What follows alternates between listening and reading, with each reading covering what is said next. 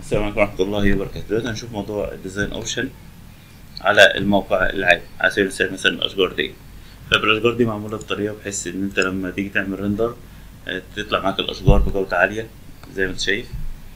إنما في الوضع العادي بتبقى الجودة قليلة عشان سهولة ال- العمل يعني. طيب.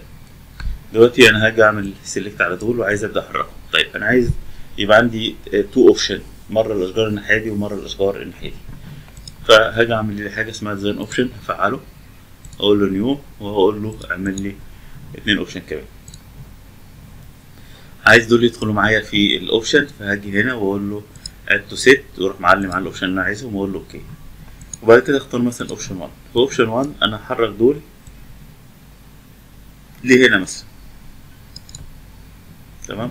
وفي option 2 لاحظ انهم رجعوا مكانهم. هنخليهم هنا مثلا وفي option 3 هنخليهم هنا مثلا وخلينا نحط أشجار تانية.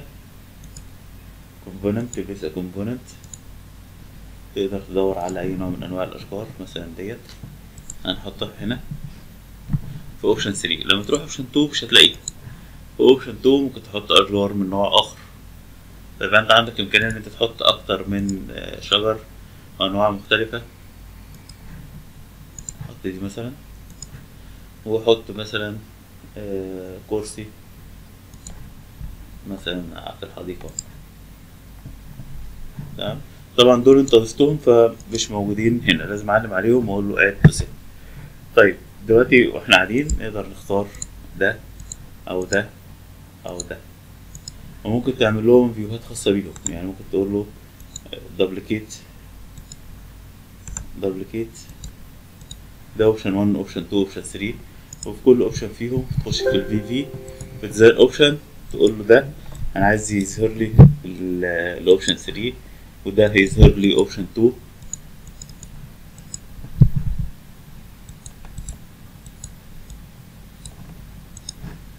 آه يبقى أنا عندي دوت ودوت ودوت.